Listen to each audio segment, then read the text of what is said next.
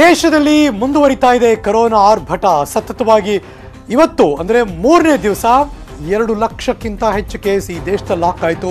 ಅಂದರೆ ಈ ದೇಶದಲ್ಲಿ ಕೊರೋನಾ ಸೋಂಕಿತರ ಸಂಖ್ಯೆ ಆಯಿತು. ಎರಡು ಲಕ್ಷದ ಮೂವತ್ತ್ನಾಲ್ಕು ಸಾವಿರದ ಇನ್ನೂರ ಅರವತ್ತೆರಡು ಮಂದಿಗೆ ಕಳೆದ ಇಪ್ಪತ್ನಾಲ್ಕು ಗಂಟೆಯಲ್ಲಿ ಸೋಂಕಿತರು ಅಂತ ರಿಪೋರ್ಟ್ ಬಂದಿದೆ. Breaking news.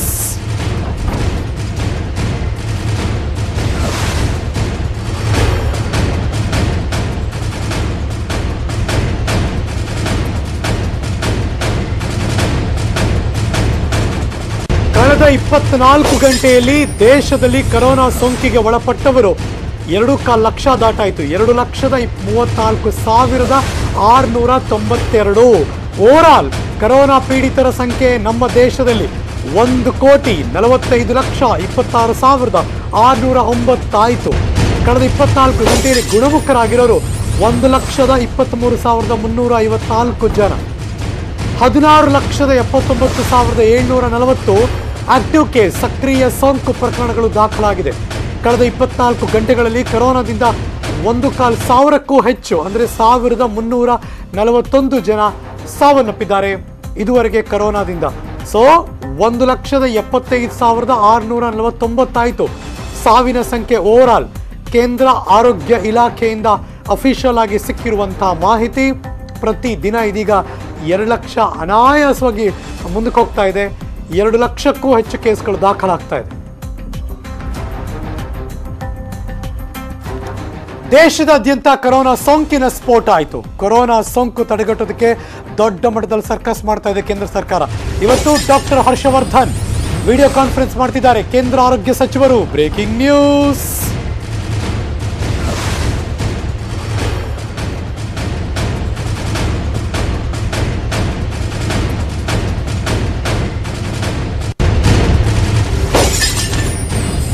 ಎಲ್ಲ ರಾಜ್ಯಗಳ ಆರೋಗ್ಯ ಸಚಿವರ ಜೊತೆ ಸಭೆ ನಡೆಸ್ತಾರೆ ಡಾಕ್ಟರ್ ಹರ್ಷವರ್ಧನ್. ಎಷ್ಟೊತ್ತಿಗೆ? ಬೆಳಗ್ಗೆ ಹನ್ನೊಂದುವರೆಗೆ. ವಿಡಿಯೋ ಕಾನ್ಫರೆನ್ಸ್ ಮೂಲಕ ವರ್ಚುವಲ್ ಮೀಟಿಂಗ್ ಇದು. ಕೊರೋನಾ ಹರಡುವಿಕೆ ತಡೆಯೋದ್ರ ಬಗ್ಗೆ ಎಲ್ಲ ರಾಜ್ಯವಾರು ಆರೋಗ್ಯ ಸಚಿವರ ಜೊತೆ ಡಾಕ್ಟರ್ ಹರ್ಷವರ್ಧನ್ ಎಲ್ಲರಿಗೂ ಕೂಡ ಹೇಳಿದ್ದಾರೆ. ಹಾಗಾಗಿ ಹನ್ನೊಂದು ಮೂವತ್ತಕ್ಕೆ ದೇಶದ ಎಲ್ಲ ರಾಜ್ಯಗಳ ಆರೋಗ್ಯ ಸಚಿವರು ವಿಡಿಯೋ ಕಾನ್ಫರೆನ್ಸ್ ಮೂಲಕ ಹರ್ಷವರ್ಧನ್ ಅವ್ರ ಜೊತೆ ಮಾತಾಡ್ತಾರೆ. ಆಯಾ ರಾಜ್ಯಗಳಲ್ಲಿ ತೆಗೆದುಕೊಂಡಂತಹ ನಿಲುವು, ತಡೆಗಟ್ಟೋದಕ್ಕೆ ಏನೇನು ಕ್ರಮಗಳನ್ನು ತೆಗೆದುಕೊಳ್ಳಬೇಕು, ಈ ಎಲ್ಲವನ್ನು ಕೂಡ ಶೇರ್ ಮಾಡ್ತಾರೆ.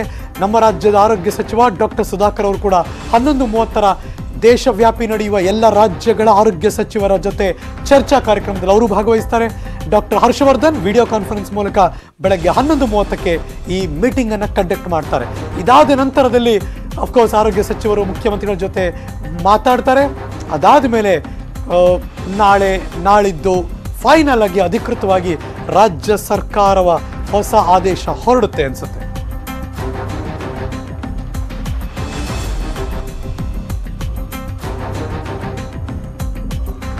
ವೆರಿ ಕ್ರೂಷಿಯಲ್ ಇವಾಗ ದೇಶದಲ್ಲಿ ಕೇಂದ್ರಕ್ಕೂ ಕೂಡ ದೊಡ್ಡ ಚಾಲೆಂಜು ಎಲ್ಲ ರಾಜ್ಯಗಳು, ಅದರಲ್ಲೂ ದೇಶದ ಆರೇಳು ರಾಜ್ಯ ಇದೆಯಲ್ಲ, ಕರ್ನಾಟಕವನ್ನೂ ಒಳಗೊಂಡು. ಮಹಾರಾಷ್ಟ್ರ, ಛತ್ತೀಸ್ಗಢ, ಉತ್ತರ ಪ್ರದೇಶ, ದೆಹಲಿ, ಕರ್ನಾಟಕ, ಈ ಎಲ್ಲ ಭಾಗದಲ್ಲಿ ದೊಡ್ಡ ಮಟ್ಟದಲ್ಲಿ ಕರೋನಾ ಕೇಸ್ ದಾಖಲಾಗ್ತಿರೋ ಹಿನ್ನೆಲೆಯಲ್ಲಿ ಒನ್ಸ್ ಅಗೈನ್ ಕೇಂದ್ರ ಆರೋಗ್ಯ ಸಚಿವರು, ಎಲ್ಲ ರಾಜ್ಯಗಳ ಆರೋಗ್ಯ ಸಚಿವರ ಜೊತೆ ಇವತ್ತು ಮೀಟಿಂಗ್ ಮಾಡ್ತಿದ್ದಾರೆ.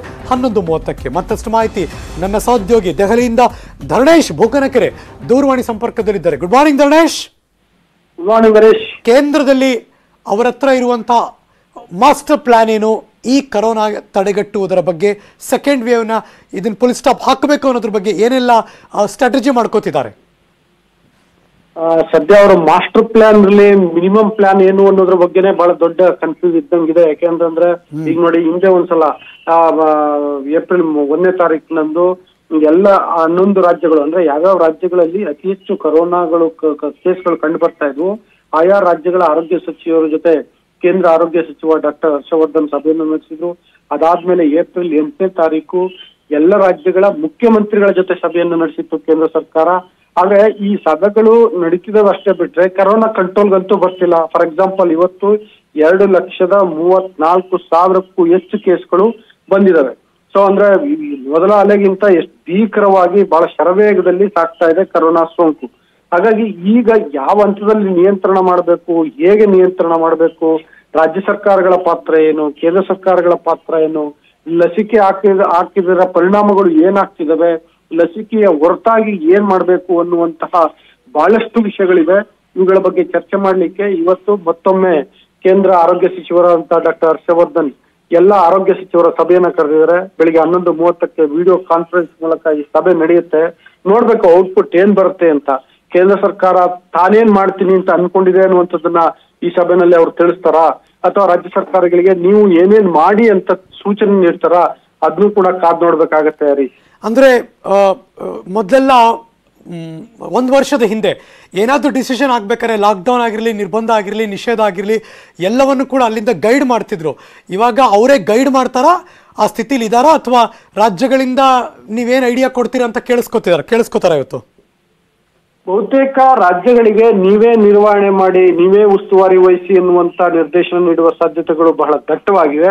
ಯಾಕೆಂದ್ರೆ ಕಳೆದ ನಾಗ್ಲೇ ಹೇಳಿದೆ ಮೊದಲಿಗೆ ಏಪ್ರಿಲ್ ಒಂದನೇ ತಾರೀಕು ಆರೋಗ್ಯ ಸಚಿವರ ಜೊತೆಗಿನ ಸಭೆ ಮತ್ತು ಏಪ್ರಿಲ್ ಎಂಟನೇ ತಾರೀಕು ನಡೆದಂತಹ ಮುಖ್ಯಮಂತ್ರಿಗಳ ಸಭೆ. ಎರಡೂ ಸಭೆನಲ್ಲಿ ಕೂಡ ಕೇಂದ್ರ ಸರ್ಕಾರ ತಾನು ಏನೋ ಮಾಡ್ತೀನಿ ತಾನು ಇದರ ಜವಾಬ್ದಾರಿಯನ್ನ ವಹಿಸ್ಕೊಳ್ತೀನಿ ಎನ್ನುವಂತಹ ಒಂದು ಸಣ್ಣ ಸುಳಿವನ್ನ ಕೂಡ ಕೊಟ್ಟಿಲ್ಲ. ರಾಜ್ಯ ಸರ್ಕಾರಗಳಿಗೆ ನೀವು ಹೀಗ್ ಮಾಡಿ ಹೀಗ್ ಮಾಡಿ ವ್ಯಾಕ್ಸಿನ್ ಅನ್ನ ಈ ರೀತಿ ಪ್ರಿಸರ್ವ್ ಮಾಡಿ, ಈ ರೀತಿ ಸರಬರಾಜು ಮಾಡಿ, ಅಥವಾ ಕರೋನಾ ನಿಯಂತ್ರಣವನ್ನ ನೀವು ಹೀಗ್ ಮಾಡಿ ಅಂತೇಳಿ, ಆ- ಅದೇ ರೀತಿಯ ಸೂಚನೆಗಳನ್ನ ಕೊಟ್ಟು, ಮತ್ತೆ ಆ ನಂತರದಲ್ಲಿ ಕೂಡ ರಾಜ್ಯ ಸರ್ಕಾರಗಳು, ಫಾರ್ ಎಕ್ಸಾಂಪಲ್ ಮಹಾರಾಷ್ಟ್ರ ಮಹಾರಾಷ್ಟ್ರದಲ್ಲಿ ಅಲ್ಲಿ ಜನತಾ ಕರ್ಫ್ಯೂ ಅನ್ನ ಮಾಡಲಾಯ್ತು, ದೆಹಲಿ ವೀಕೆಂಡ್ ಕರ್ಫ್ಯೂ ಅನ್ನ ಮಾಡಿದೆ ಉತ್ತರ ಪ್ರದೇಶದಲ್ಲಿ ಓನ್ಲಿ ಸಂಡೇ ಮಾತ್ರ ಲಾಕ್ಡೌನ್ ಅನ್ನ ಮಾಡ್ತಿದ್ದಾರೆ, ರಾಜಸ್ಥಾನ್ ನೈಟ್ ಕರ್ಫ್ಯೂ ಅನ್ನ ಜಾರಿ ಮಾಡಿದೆ, ಹೀಗೆ ಬೇರೆ ಬೇರೆ ರಾಜ್ಯಗಳು ಅವರವರ ಅನುಕೂಲಕ್ಕೆ ತಕ್ಕಂತೆ ಮತ್ತು ಅವರವರಿಗೆ ಏನೇನು ಸರಿ ಅನ್ಸುತ್ತೋ ಸೂಕ್ತ ಅನ್ಸುತ್ತೋ ಅದನ್ನ ನಿರ್ಧಾರಗಳನ್ನ ಮಾಡ್ತಿದ್ದಾರೆ. ಕೇಂದ್ರ ಸರ್ಕಾರ ನೀವ್ ಹೀಗೆ ಮಾಡಿ ಅನ್ನುವಂತ ನಿರ್ದೇಶನವನ್ನೂ ಕೂಡ ಕೊಟ್ಟಿಲ್ಲ. ಅಥವಾ ಈಗ ಮಾಡ್ಲೇಬೇಕು ಅಂತೇಳಿ ಕಟ್ಟಪಣೆಯನ್ನೂ ಕೂಡ ವಿಧಿಸಿಲ್ಲ. ಎಲ್ಲಕ್ಕಿಂತ ಮುಖ್ಯವಾಗಿ ಜವಾಬ್ದಾರಿ ಹೊರುವಂತ ಕೆಲಸವನ್ನ ಅದು ಮಾಡಿಲ್ಲ ಇಂದಿನ ಎರಡು ಸಭೆಗಳಲ್ಲಿ. ಈಗ ಏನ್ ಮಾಡುತ್ತೆ? ಯಾಕೆಂದ್ರೆ ಈಗ ನಾನಾಗ್ಲೇ ಹೇಳಿದೆ ಎರಡು ಲಕ್ಷದ ಮೂವತ್ ನಾಲ್ಕು ಸಾವಿರ ಕೇಸ್ಗಳು ಬಂದಿದ್ದಾವೆ. ಮತ್ತೆ ಕಳೆದ ಮೂರು ದಿನ ನಾಲ್ಕು ದಿನಗಳಿಂದ ಪ್ರತಿದಿನ ಎರಡು ಲಕ್ಷ ಕೇಸ್ಗಳು ಎರಡು ಲಕ್ಷಕ್ಕಿಂತ ಹೆಚ್ಚು ಕೇಸ್ಗಳು ದಾಖಲಾಗ್ತಿದ್ದಾವೆ ಸೊ ಈ ಹಂತದಲ್ಲಿ ಕೇಂದ್ರ ಸರ್ಕಾರ ಯಾವ ನಿಲುವನ್ನು ತೆಗೆದುಕೊಳ್ಳುತ್ತೆ. ರಾಜ್ಯಗಳಿಗೆ ಏನ್ ಹೇಳುತ್ತೆ ಅನ್ನುವಂಥದ್ದನ್ನ ಕಾದ್ ನೋಡ್ಬೇಕು. Thank you so much Ganesh Bukkanagere ಈ ಕ್ಷಣದ ಮಾಹಿತಿ ಅಪ್ಡೇಟ್ ಮಾಡಿದ್ದಕ್ಕೆ. ಇವತ್ತು ರಾಜ್ಯದ ಎಲ್ಲ ಡಿಸಿಗಳ ಅಂದ್ರೆ ಜಿಲ್ಲಾಧಿಕಾರಿಗಳ ಜೊತೆ ಹಿರಿಯ ಸಚಿವರು ಸಭೆ ನಡೆಸುತ್ತಿದ್ದಾರೆ ಡಿಸಿಗಳ ಅಭಿಪ್ರಾಯ ಸಂಗ್ರಹಕ್ಕೆ ಮುಂದಾಗಿದೆ ಸರ್ಕಾರ. ಬಿಗಿ ಕ್ರಮದ ಬಗ್ಗೆ ಜಿಲ್ಲಾಧಿಕಾರಿಗಳಿಂದ ಅಭಿಪ್ರಾಯವನ್ನ ಇವತ್ತು ಸಂಗ್ರಹ ಮಾಡ್ತಾರೆ. ಬ್ರೇಕಿಂಗ್ ನ್ಯೂಸ್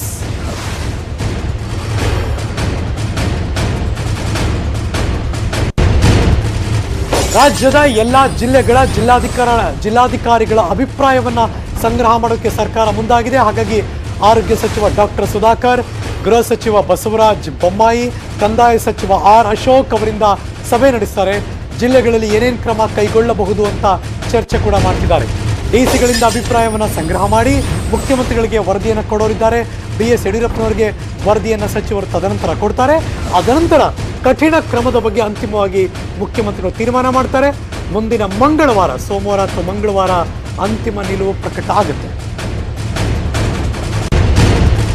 ವೆಲ್ಕಮ್ ಬ್ಯಾಕ್ ಬೆಂಗಳೂರಲ್ಲಿ ವೈದ್ಯರೇ ಸಿಗ್ತಾ ಇಲ್ಲ. ಕೊರೋನಾ ಬೆಡ್ ಸರಿಯಾದ ಚಿಕಿತ್ಸೆ ಸಿಗದೆ ವೈದ್ಯೆಯ ತಂದೆ ಸಾವನ್ನಪ್ಪಿದ್ದಾರಂತೆ. ಇದೀಗ ಬರ್ತಿರುವಂತಹ ಬ್ರೇಕಿಂಗ್ ನ್ಯೂಸ್ ರೆಮ್ಡಿಸಿವಿರ್ ಇಂಜೆಕ್ಷನ್ ಸಿಗದೆ ತಂದೆ ಸಾವನ್ನಪ್ಪಿದ್ದಾರೆ. ಇದು ಬೆಂಗಳೂರಿನಲ್ಲಿ ಸಿಗ್ತಾ ಇರುವಂತಹ ಬ್ರೇಕಿಂಗ್ ನ್ಯೂಸ್ ಬೆಂಗಳೂರಿಂದ ಬರ್ತಾ ಇದೆ.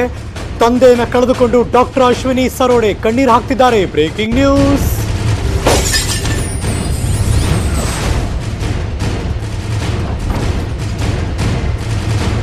ವೈದ್ಯರಿಗೆ ಮೆಡಿಸಿನ್ ಸಿಗ್ತಿಲ್ಲ ಅಂದಾಗ ಇದು ದೊಡ್ಡ ಆತಂಕ. ನಾವು ಅನ್ಕೋತೀವಿ, ಸಾಮಾನ್ಯ ಜನರು ಒದ್ದಾಡ್ತಿದ್ದೀವಿ ನಿಜ.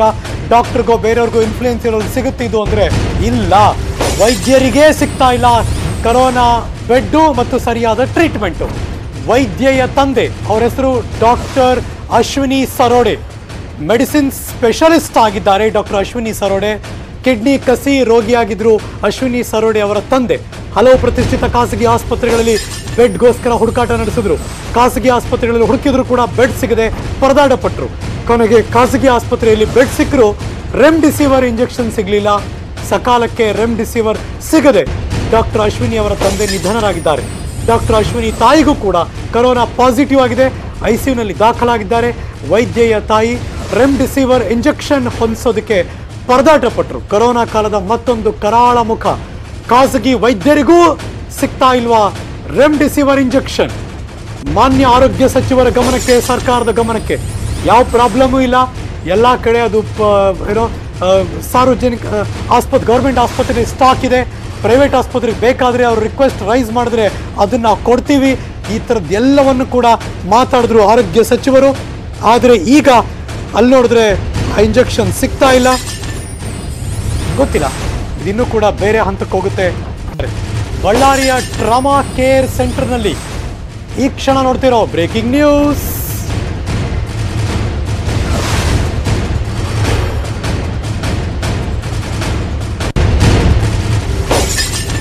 ಬಳ್ಳಾರಿಯ ಟ್ರಾಮಾ ಕೇರ್ ಸೆಂಟರ್ನಲ್ಲಿರುವಂತಹ ಸೋಂಕಿತರು ಆರೋಪ ಮಾಡ್ತಿದ್ದಾರೆ. ಸರಿಯಾದ ಟೈಮ್ಗೆ ನಮಗೆ ಊಟ ಕೊಡ್ತಾ ಇಲ್ವಂತೆ. ಎಲ್ಲ ಸೋಂಕಿತರಿಗೂ ಒಂದೇ ಟಾಯ್ಲೆಟ್. ನಿಮೋನಿಯಾಗೂ ಕೂಡ ಮಾತ್ರೆ ಕೊಡ್ತಾ ಇಲ್ವಂತೆ. ರೋಗಿಗಳಿಗೆ ಶುಗರ್, ಬಿ ಪಿ ಟೆಸ್ಟ್ ಮಾಡ್ತಾ ಇಲ್ವಂತೆ.